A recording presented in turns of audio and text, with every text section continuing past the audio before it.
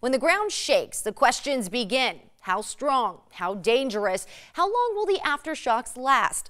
Lucy Jones is the woman with the answers. 23 ABC's Alyssa Flores visited Jones at California's Institute of Technology to find out what we learned from the quakes in Ridgecrest and how long the area will feel the impacts.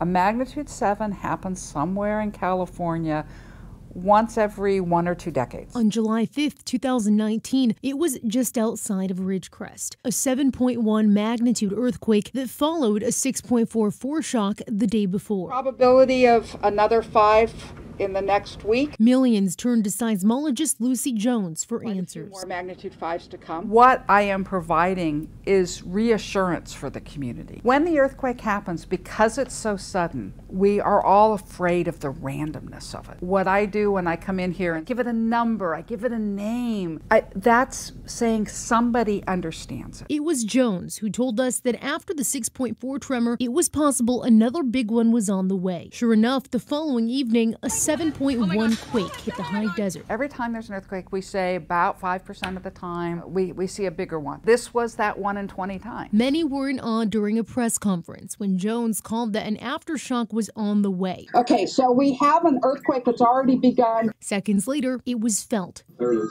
There it is. There it is.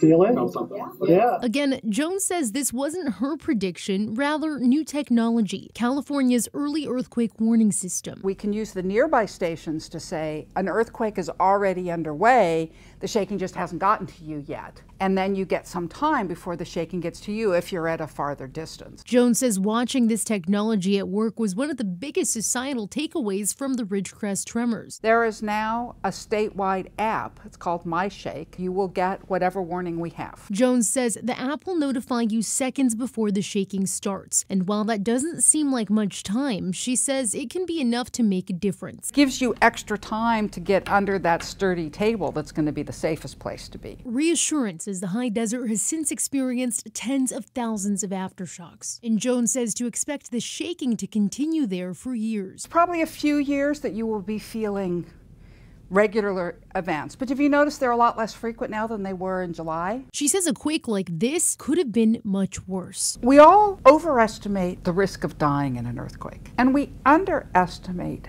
the long term impact on communities. The one thing I, I hope the lesson is not learned is that, oh, we can handle a magnitude 7. Put this earthquake through Bakersfield instead of through Ridgecrest, and you'll see that there's going to be a lot more damage. So, how long before Kern County could see another quake of this magnitude? I think your long term rate of once every 20 years or so, which means every year has about a 5% chance.